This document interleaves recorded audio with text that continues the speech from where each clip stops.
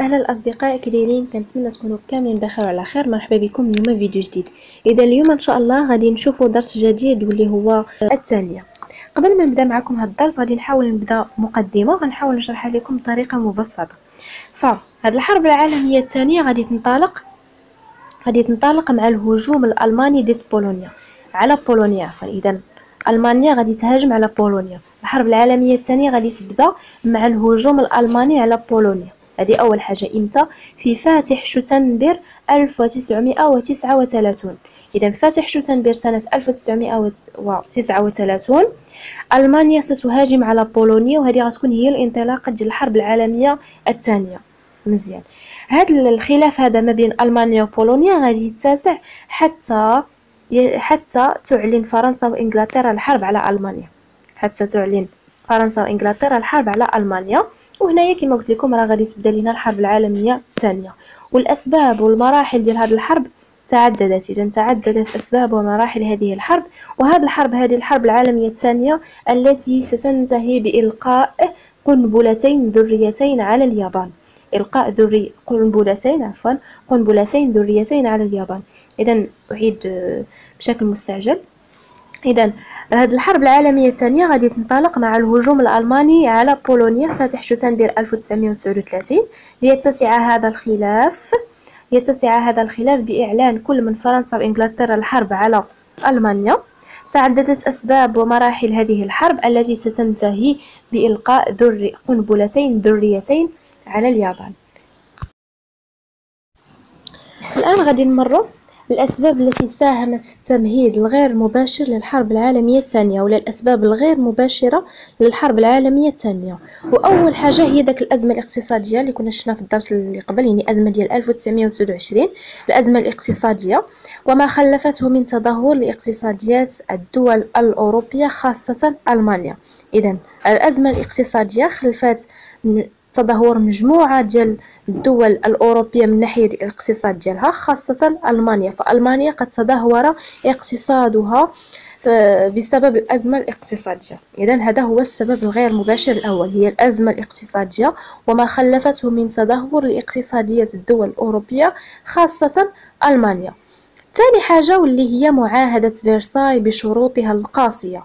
إذا معاهدة فرساي اللي غادي تطبق واحد شروط شروط قاسية شروط قاسية التي استهدفت إضعاف ألمانيا عسكريا. فمعاهدة فرساي كانت باغا كانت باغا كانت باغا أن العسكر ديال ألمانيا يولي ضعيف. فشنو دارت؟ قامت بفرض بفرض أو قامت بفرض شروط قاسية. إذا معاهدة فرساي بشروطها القاسية التي استهدفت إضعاف ألمانيا عسكريا. ثالث حاجة واللي هو هتلر. إذا هتلر من بعد ما غادي يوصل للسلطة ومن بعد ما غادي يفوز في الانتخابات سنة 1933 سيقوم بخرق شروط فرساي شروط معاهدة فرساي داك معاهدة فرساي دارت واحد شروط قاسية يعني الا قلنا دابا دارت شروط قاسية آه شروط قاسية اللي استهدفت إضعاف ألمانيا عسكريا. ففاش غادي يوصل هتلر للسلطة سنة 1930 يقوم بخرق شروط فرساي حيث سيقوم برفع من عدد الجنود إيه هو غيبغي يقوي العسكر ديال ألمانيا. سيقوم برفع عدد الجنود سيقوم باعتماد التجنيد الإجباري إلى آخره. هذه أول حاجة. أول حاجة هتلر غيديرها أنه سيقوم بخرق شروط فرساي ثاني حاجة سيقوم بضم عدة مناطق في أوروبا. كإقليم إقليم الصار سنة 1936 إذا سيضم إقليم الصار سنة 1939 النمسا سنة 1938 ضمن ما عرف بقضية الأنشلوس. إذا النمسا سنة 1800 1938 والسوديت بتشيكوسلوفاكيا. إذا هادو ثلاثة ديال المناطق قام هتلر بضمها. نعودهم. إقليم الصار النمسا والسوديت بتشيكوسلوفاكيا. إقليم الصار سنة 1900 وستة النمسا سنة ألف وتسعمية وثمانية وثلاثين والسوديت بتشيكوسلوفاكيا. هذه ثاني حاجة. إذا أول حاجة قام بخرق شروط شروط معاهدة فرساي ثاني حاجة قام بضم قام بضم مناطق في أوروبا. ثالث حاجة إقامته لتحالف كل من إيطاليا واليابان منذ سنة 1937 إذا وإقامته لتحالفات مع الديكتاتوريات. إيطاليا واليابان منذ سنة 1937 علاش؟ لتنفيذ برنامج الحزب النازي المجال الحيوي. لتنفيذ برنامج الحزب النازي المجال الحيوي. ندوزو الآن للسبب الغير المباشر الرابع واللي هو انسحاب الدول الثلاث من عصبة الأمم المتحدة. انسحاب الدول الثلاث من عصبة الأمم المتحدة. والسبب الأخير واللي هو التوسعات اليابانية في جنوب شرق آسيا بالضبط في الصين. إذا التوسعات اليابانية التوسعات اليابانية في جنوب شرق آسيا خاصة الصين. إذا هادو اللي ذكرناهم دابا باب الممهدة الأسباب التي ساهمت في التمهيد الغير المباشر في الحرب العالمية للحرب العالمية الثانية. الآن غادي ندوزو الأسباب المباشرة للحرب العالمية الأسباب التي ساهمت ساهمت بشكل مباشر في اندلاع الحرب العالمية الثانية وأول حاجة واللي هي العلاقة المتوترة اللي كانت ما بين ألمانيا وفرنسا. علاش كانت هناك علاقة متوترة ما بين فرنسا وألمانيا؟ لأنه فرنسا قامت بعقد حلف عسكري مع الاتحاد السوفيتي. إذا فرنسا قامت بعقد حلف عسكري مع الاتحاد السوفيتي وألمانيا كانت تعتبر أن الاتحاد السوفيتي ضدها. موجها ضدها داكشي علاش وقع بيناتهم واحد توتر اذا زيادة توتر العلاقة بين ألمانيا وفرنسا بعد عقد الاخيره لتحالف عسكري مع الاتحاد السوفيتي والذي اعتبرته ألمانيا موجها ضدها. اذا هنايا شنو غادي يدير هتلر؟ هتلر غادي يصمم على استعادة عدة مناطق قد انتزعت منه. طبيعة الحال ألمانيا كانوا انتزعت منها مجموعة من المناطق فهنايا هتلر غادي يصمم على أنه يرجع كاع داك الأراضي وكاع داك المناطق اللي كانوا مشاو ليه ولي حيدوهم ليه. علاش؟ يعني شنو الحجة اللي عطاها؟ شنو الحجة اللي عطا باش أنه يرجع المناطق ديالو بأن أغلبية سكانه ألمان. مزيان. ولكن الهدف الأساسي والحقيقي ديالو ما كانش هو أنه يعني يرجع داك المناطق حيت الأغلبية ديالها سكان. لا. كان الهدف الأساسي والحقيقي هو أنه كانت عنده رغبة في الاستيلاء على بولونيا. كانت له رغبة في الاستيلاء على بولونيا. علاش؟ باش يضمن التزويد بالمواد الغذائية ولتوسيع المجال الحيوي في اتجاه شرق روسيا. في اتجاه شرق روسيا. اذا شنو كان علاش كان باغي علاش كان باغي يحتل بولونيا؟ علاش كان علاش كانت عنده الرغبة في الاستيلاء على بولونيا؟ علاش؟ لضمان التزويد بالمواد الغذائية. ولتوسيع المجال الحيوي في اتجاه شرق آسيا وكان شرق آسيا غني بالفحم. فهذا كانت فهذا كان هو الهدف ديال هتلر. مزيان.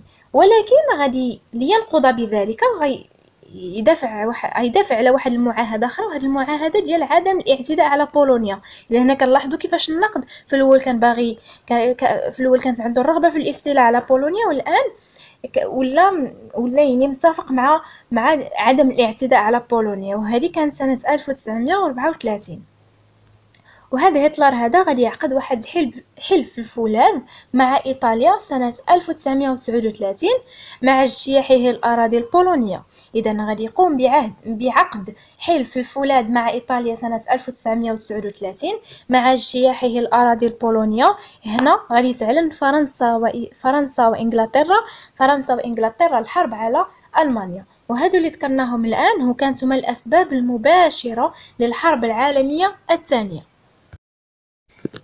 طبيعة الحال هاد الحرب العالمية الثانية مادام كانوا عندها أسباب وبانت لينا هاد الحرب هادي فضروري ما يكون عندها نتائج. فغادي نشوفوا النتائج البشرية والنتائج الاقتصادية والنتائج السياسية. وأول حاجة غادي نبداو بالنتائج البشرية. فكان هناك ارتفاع أعداد القتلى. عدد القتلى غادي وما كيرتفع. فشكون اللي كيموتوا كيموتوا المدنيين وكيموتوا العسكريين. إذا ارتفاع أعداد القتلى في صفوف المدنيين والعسكريين خاصة في الاتحاد السوفيتي بولونيا ألمانيا اليوغوسلافيا وإيطاليا. إذا هاد البلدان هادو اللي ذكرناهم خمسه بهم هاد البلدان أكثر البلدان فيهم الناس وكانوا فيهم أعداد القتلى غاديين وكيرتفعوا. إذا أول حاجة ارتفاع أعداد القتلى في صفوف المدنيين والعسكريين. إذا مزيان خاصة في الاتحاد السوفيتي بولونيا ألمانيا يوغوسلافيا يوغوسلافيا وإيطاليا.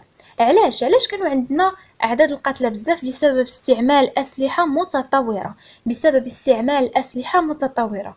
والنتيجة شنو كانت؟ فكان عندنا نزيف ديموغرافي كان نزيف ديموغرافي كان تراجع تراجع نسبة الولادات إذا تراجع نسبة الولادات تراجع نسبة الساكنة النشيطة تراجع نسبة الساكنة النشيطة. بالإضافة تأثير على الهرم العمري. إذا التأثير على الهرم العمري إذا هادو هي النتائج ديال ارتفاع عدد القتلى. إذا إلا ارتفعوا لنا عدد القتلى فغيكون عندنا هناك نزيف ديموغرافي. تراجع لا تدني تدني نسبة الولادات تراجع نسبة الساكنة النشيطة والتأثير على الهرم العمري. الآن غادي ندوزو للنتائج الاقتصاديه ولا ممكن نقولوا الخسائر المادية. فأول حاجة هذه النتائج الاقتصادية خاصنا نعرفوا بأنه تم تدمير المدن والبنيات التحتية الإنتاجية كالمزارع والطرق والمساكن والمعامل إلى آخره طبيعة الحال في أوروبا. إذا أول حاجة تدمير المدن والبنيات التحتية الإنتاجية كالمزارع والمعامل والطرق بأوروبا. والنتيجة إذا إلا كان إلا تدمروا لنا المدن ولا تدمروا لنا البنيات التحتية الإنتاجية فغيكون عندنا انخفاض انخفاض الإنتاج عفوا غيكون عندنا انخفاض الإنتاج. كذلك صرف إمكانات مالية ضخمة وكبيرة لإعادة إنشاء البنيات. لإعادة إنشاء البنيات لأنه كما تنقولوا تدمروا لنا المدن تدمروا لنا المساكن والمعامل. إذا خصنا واحد المال خصنا نصرفوا إمكانات مالية كبيرة لإعادة إنشاء البنيات. ثاني حاجة. ثالث حاجة ارتفاع تكلفة الحرب. ارتفاع تكلفة الحرب من الناتج الوطني الخام الإجمالي للدول الأوروبية. فجميع الدول الأوروبية ولا جميع الدول المشاركة في الحرب ف تكلفة الحرب طبيعة الحال غدا وما كتزاد وغدا وما كترتفع مزيان. اذا هادشي شنو غيؤدي هادشي غيؤدي إلى ارتفاع مديونيتها إلى ارتفاع مديونية الدول المشاركة في الحرب بعد اللجوء للاقتراض طبيعة الحال البلدان كلها ولات كتعيش انخفاض في الإنتاج ولات. ولات كتصرف آه، فلوس كبيرة باش أنها تعاود تنشأ البنيات ديالها. تكلفه الحرب غادا وما كترتفع. اذا خاصها تمشي تلتجا للاقتراض خاصها تمشي تاخذ شي قرض. اذا المديونية ديالها غادي تزاد. هذه من جهة. اذا وبالتالي الأسعار غادي ترتفع. من الأسعار ديال المنتوجات إلى آخره. اذا الأسعار غادي ترتفع. وتدني مستوى معيشة الساكنة. المعيشه ديال الساكنة المستوى ديالها غادي غادي وكينقص وغيولي ضعيف جدا. مزيان. هاد هاد الاثار الاقتصادية والمادية هاد الخسائر الاقتصادية والمادية كنلاحظوا بأن البلدان المشاركة في الحرب كلها عاشت هاد هاش عشت هاد الآثار هادي وطبيعة الحال كتختلف من بلاد لبلاد. كاين مثلا شي بلاد اللي تقدر تكون آه، هازه راسها شوية ما ماشي حتى لذاك الدرجة وصلت لدوله نامية ودولة فقيرة. ولكن مهم كتختلف الآثار الاقتصادية والمادية ما بين البلدان المشاركة. ولكن في الوقيتة اللي تضررات فيها البلدان الأوروبية. هاد البلدان الأوروبية يعني البلدان اللي الحرب دارت فوق أراضيها ودمرت لها البنيات الإنتاجية والبنيات الإنتاجية والبنيات التحتية. هاد البلدان هادو تضرروا ولكن في نفس الوقت كاينة بلدان أخرى استفادت خاصة الولايات المتحدة الأمريكية والبلدان المحايدة. اذا الولايات المتحدة الأمريكية والبلدان المحايدة هادو استفادوا من الحرب. استفادوا من الحرب العالمية الأولى. الحرب العالمية الأولى كانت استفادت منها الولايات المتحدة الأمريكية واليابان. والحرب العالمية الثانية استفادت منها الولايات المتحدة الأمريكية والبلدان المحايدة. هاد الولايات المتحدة الأمريكية والبلدان المحايدة استفادوا اذا اليات الإنتاجية ديالهم غادي يحاولوا يمو... يحاولوا لتموين يعني غيحاولوا يشغلوها لتموين الحاجيات الحربية والغذائية للبلدان الأخرى. يعني بحال غيوليو يعطيو القروض للبلدان الأخرى. هادشي باش غادي يزيدوا قوة في قوة. اذا هاد الحرب العالمية الأولى اثرت على الأنشطة الاقتصادية للبلدان المشاركة في الحرب. اذا هاد الأنش... هاد الحرب العالمية الأولى أثرت في الأنشطة الاقتصادية للبلدان المشاركة في الحرب حيث استنزفت مواردها الطاقية والمعدنية والفلاحية مما نتج عنه تزايد قوة الولايات المتحدة الأمريكية. إذا فوقت ما البلدان الأخرين كيتضرروا الولايات المتحدة الأمريكية كتزيد قوة. إذا هادو كانوا النتائج الاقتصادية. دابا غادي ندوزو للنتائج السياسية. فأول حاجة خصنا نعرفو بأنه الحرب العالمية الثانية غيرت موازين القوى على الصعيد العالمي. الحرب العالمية الثانية أدت إلى تغيير موازين القوى على الصعيد العالمي. الحلفاء قاموا بعقد عدة مؤتمرات فاش كانت الحرب ومن بعد مسألة الحرب العالمية الثانية. إذا الحلفاء قاموا بعقد عدة مؤتمرات خلال وبعد الحرب العالمية الثانية. علاش؟ باش أنهم يتفقوا على خريطة العالم بعد الحرب. إذا اتفقوا على خريطة العالم ما بعد الحرب. وكانت هناك نتيجة. فالخريطة ديال أوروبا تغيرت. إذا تغير تغيرت خريطة أوروبا. بحيث بعض الدول توسعت مساحتها. مثلا بحال الاتحاد السوفيتي فرنسا إنجلترا بلغاريا واليوغوسلافيا اذا هاد خمسة ديال الدول الاتحاد السوفيتي بولونيا بلغاريا فرنسا واليوغوسلافيا هادو الدول اللي توسعات المساحة ديالهم. ولكن كاينين دول أخرى اللي فقدات أراضيها بحال ألمانيا وبحال النمسا واليابان. إذا اليابان والنمسا وألمانيا هادو بلدان فقدات الأراضي ديالها. إذا هانتوما شوف الحلفاء قاموا بعقد عدة مؤتمرات باش أنهم يتفقوا على تغيير الخريطة. طبيعة الحال غتتغير من بعد الحرب. فهناك دولة دول يعني ازدادت مساحتها ودول الأراضي ديالها فقداتها. مزيان. عرفنا شكون هما الدول اللي توسعت المساحة ديالها وعرفنا عرفنا شكون هما الدول اللي فقدات الأراضي ديالها. فألمانيا هي كانت ضمن البلدان وضمن الدول اللي فقدات الأراضي ديالها. فهي تقسمت لأربع نفوذ تقسمت لأربع نفوذ خاضعة للدول الأربع.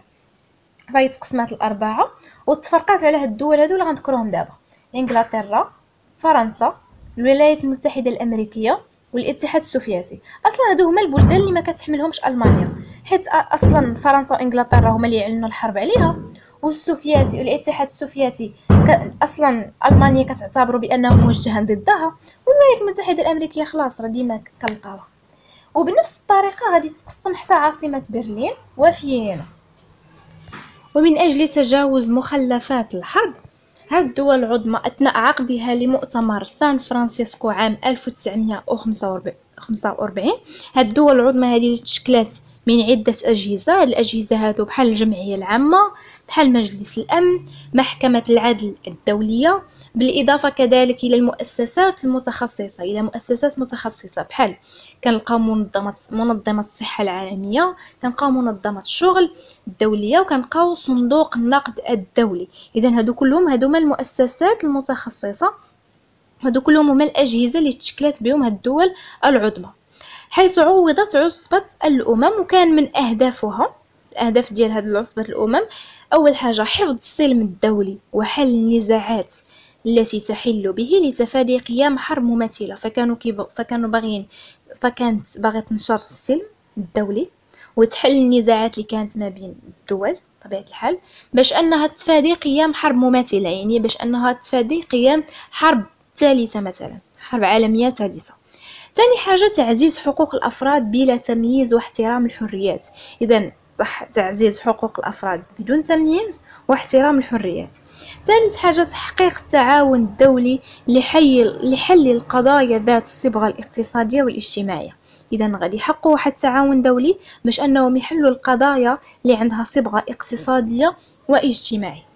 اذا هادو كانت هي النتائج الاقتص... النتائج السياسيه عفوا النتائج السياسيه للحرب العالمية الثانية. هذه الحرب العالمية الثانية بدات عام 1939 استمرت حتى ل 1945 وهاد الحرب هذه كانت أساسا ما بين دول المحور دول المحور الثلاث كانوا ثلاثة كانت الإمبراطورية اليابانية كانت إيطاليا الفاشية وكانت ألمانيا النازية. ضد دول التحالف اللي هي الاتحاد السوفيتي بريطانيا والولايات المتحدة الأمريكية. إذا الحرب العالمية الثانية اللي قلنا بدأت 1939 استمرت حتى 1945 كانت حرب ما بين جوج ديال جوج ديال الدول دول المحور ودول التحالف.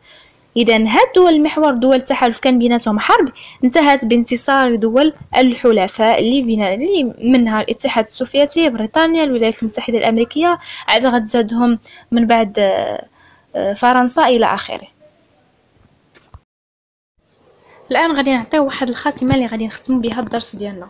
فالحرب العالمية الثانية أدت إلى تقسيم العالم إلى معسكرين مختلفين. الحرب العالمية الثانية قسمت لنا العالم إلى معسكرين مختلفين. معسكر ديال يعني معسكر اقتصاديا ومعسكر ايديولوجيا اقتصاديا بحال الغربي الرأسمالي. الغربي الرأسمالي اللي كان بزعامة الولايات المتحدة الأمريكية وايديولوجيا اللي هو الشرقي الاشتراكي اللي كان بزعامة الاتحاد السوفيتي.